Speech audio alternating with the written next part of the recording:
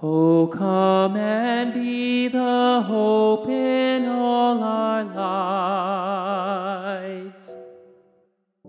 Though chaos and confusion still survives,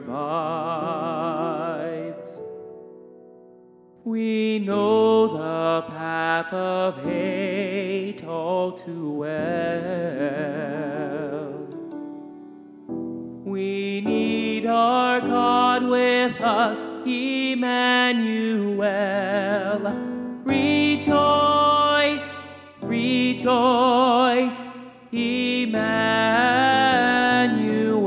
shall come to us, and all things shall be well.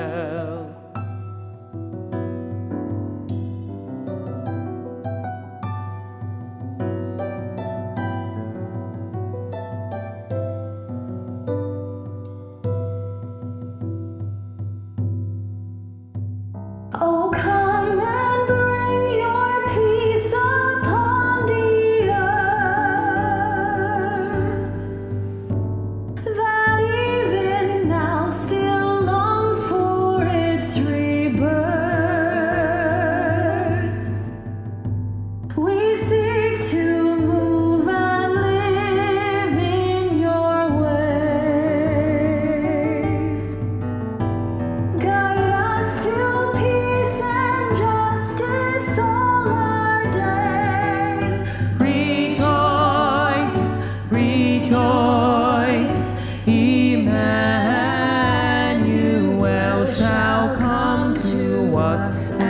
all things shall